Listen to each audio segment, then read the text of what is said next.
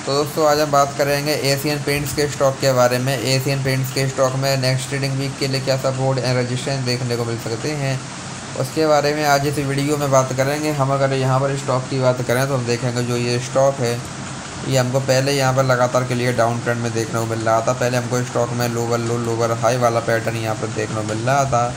लेकिन फिर स्टॉक ने यहाँ पर सपोर्ट लिया, जिसके बाद से अभी अगेन हमको जो ये स्टॉक है, वो यहाँ पर लगातार इस रेंज में ट्रेड करता हुआ दिखाई दे रहा है। तो अब अगर यहाँ पर स्टॉक अपनी इस रेंज को ब्रेक करता है दैन यहाँ से हमको स्टॉक में अगेन एक अच्छी वन साइड मूवमेंट यहाँ पर देखने को मिल सकती है। आज हमको स्टॉक में zero point zero three percent की यहाँ पर तेज़ी देखने को मिली है। तो यहाँ से अभी हमें स्टॉक में बात करें, अगर यहाँ से स्टॉक में ये तेज़ी कंटिन्यू रहती है तो यहाँ से भी और तेज़ी की कंडीशन में।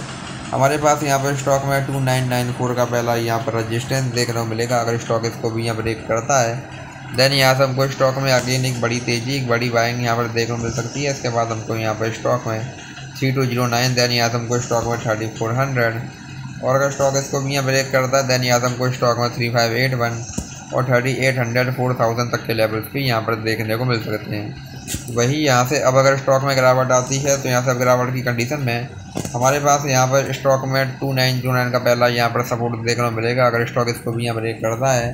देन से हमको स्टॉक में टू एट फोर टू और टू सेवन थ्री वन तक के लेवल्स भी यहाँ पर देखने को मिल सकते हैं ऐसे नेक्स्ट यहाँ पर सपोर्ट तो ये स्टॉक में कुछ इंपॉर्टेंट लेवल्स हैं, आप इन पर ध्यान दे सकते हैं। बाकी वीडियो में कोई बाय सेल होल्डिंग चला नहीं है। वीडियो केवल एजुकेशनल पर्पज़ के लिए, धन्यवाद।